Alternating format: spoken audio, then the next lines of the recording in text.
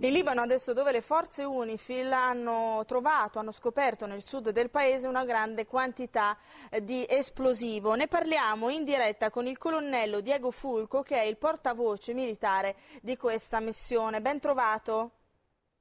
Buonasera, buonasera a tutti gli spettatori. Dunque le forze di sicurezza hanno già messo l'area sotto sequestro e sequestrato anche questo tipo di esplosivo. Si tratta però di un fatto particolarmente grave perché va a violare alcuni accordi. Sì, sicuramente il ritrovamento uh, di esplosivo detenuto senza alcuna autorizzazione rappresenta una violazione, una chiara violazione della risoluzione 1701 che ha posto fine alle ostilità tra Israele e, il Libano, in particolare per il gruppo armato di Hezbollah, eh, nel 2006. Colonnello, avete notizia su quelle persone che sono state notate nei pressi di quest'area dove poi è stato trovato l'esplosivo? Avete fermato qualcuno? Avete notizie in merito?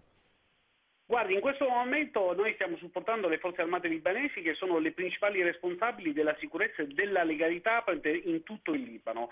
E in questo momento stiamo effettuando delle indagini, stiamo effettuando delle ricerche e naturalmente non sarà eh, facilissimo, però stiamo già lavorando, siamo già all'opera in collaborazione con le forze armate libanesi. Voi avete parlato di una grande quantità, eh, quanto grande, quanto esplosivo avete trovato e di che tipo?